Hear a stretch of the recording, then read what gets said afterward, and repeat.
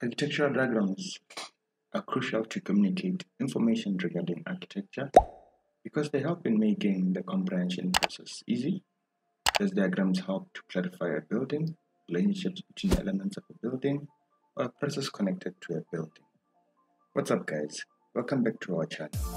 In today's video, we will cover a fun topic on how to create architectural diagrams in Archicad and. Just basics on uh, architecture illustrations with this software that we love providing tutorials with guys.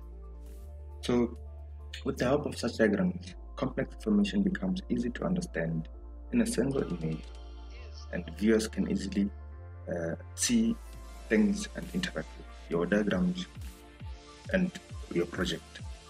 So without further ado guys, let's get started. So the type of diagrams we'll be focusing on today are contextual diagrams.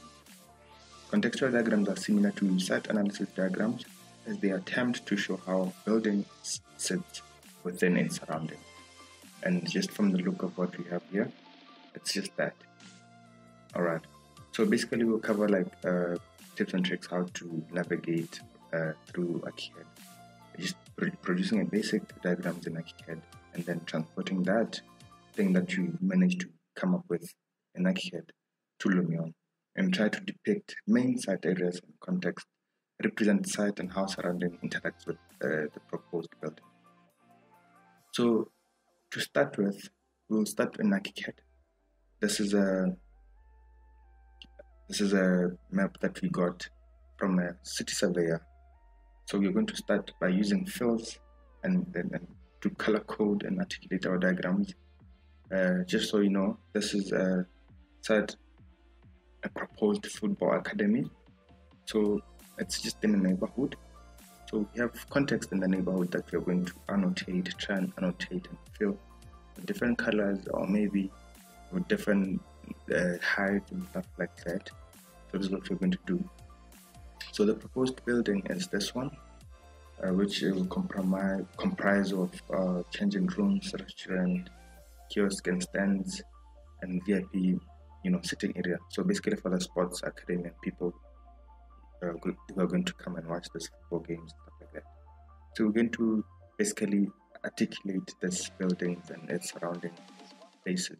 Like what do we have in the surrounding area? We have a park, we have a hospital. In this neighborhood, park area, we have a recreation area, we have schools, we have, we have nearby churches and residential so such thing you need to annotate and help people understand that.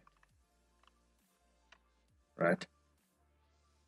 Alright, so this is what we're going to do with. Start with a kit. We fill we fill with different just play, play around with those because these are lines, right? Okay. So after we use our fill to differentiate the spaces, uh, we move on by using slabs now, as in to extrude our fills into 3D. So just we are going to uh, turn our site into three uh, building blocks as to view in 3D and surrounding areas. Like I said, we are going to try and extrude them and see how uh, they relate with our building, uh, our proposed site, and and stuff like that. Okay, and just so uh, just to make this clear, this file will be available for our Patreon users. Uh, you can download and practice the spells and and hone your skills with what we are trying to achieve here guys. So like i said um this is basically an introduction to site analysis via archicad and lumion. This will help you guys produce uh, fun diagrams diagrams that would make you present you make your presentations very good and stunning so this is basically the foundation of site analysis. So a good site and context, content context analysis is crucial step in achieving good design guides and planning process, proposals, and you know stuff like that. All right, moving on.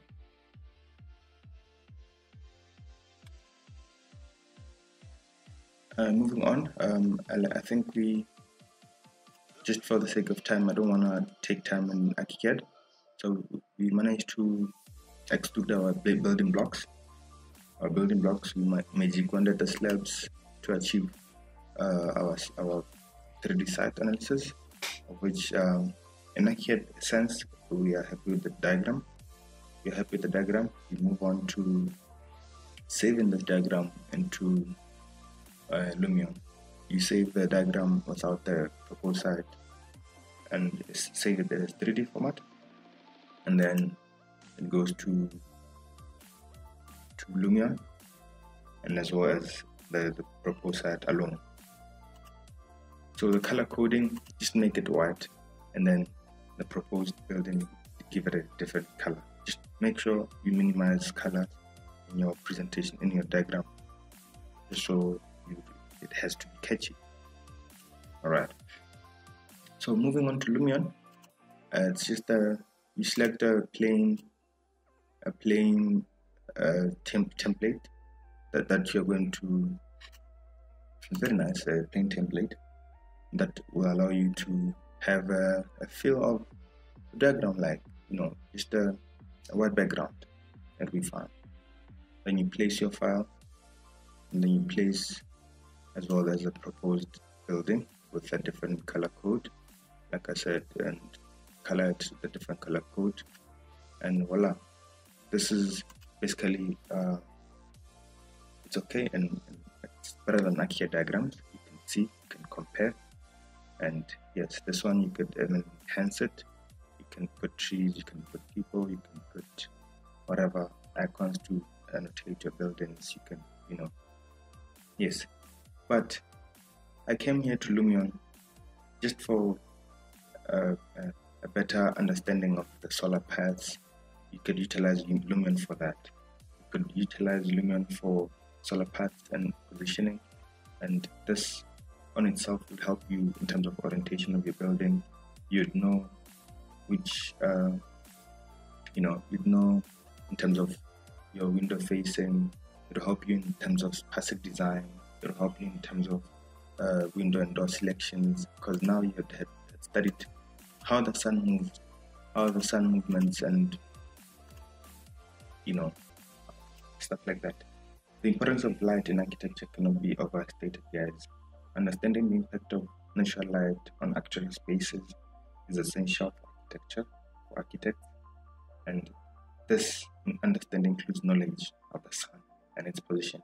And Lumion on itself, this is how you would, uh, you know, adjust Lumion solar orientation.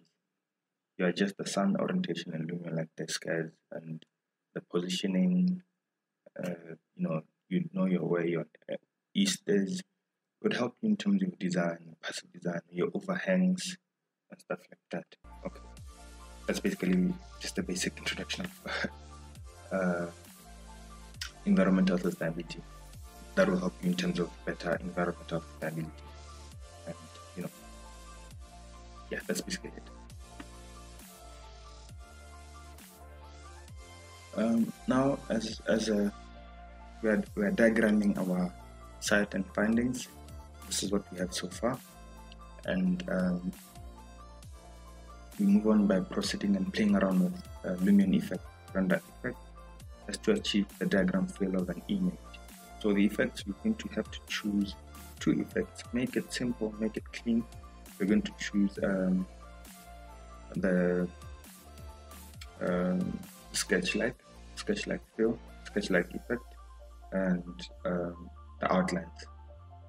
Just play around with the outlines, make them accurate. This is um, a stunning effect. Alter those two effects and we are good to go. Play around with the camera angles as well. Play around the camera angles, include the plan view and then the isometric and the perspective. So you're going to have a, maybe four images, a black and white and a color. And then you have the two different views, uh, sort of a plan view and the perspective view. So you play around with the play around with the effects, sketch like to achieve to achieve this sort of a, this a diagram. This is a hand drawn diagram. And then test your renders, test, test your renders, test your renders, and test your renders uh, as much as multiple times as you can, of different angles, of different effects, but I, I, I recommend you just use two effects uh, the black and white uh, outline and sketch sketch effect. So after we have rendered and, and we're satisfied with our views, we can annotate or depict the surrounding areas with icons so as the viewers of the project of your project could know what the picture is all about. Since you you know what the picture is all about, right? But now annotation is important. Let's annotate. We annotate our building. Annotate our site. So uh, the key catch here is our workflow. You're going to use uh, icons from ArchiCAD. These icons were vectors and uh, we traced them with a slab and then we save them into 3D format which you will be able to export into Lumion.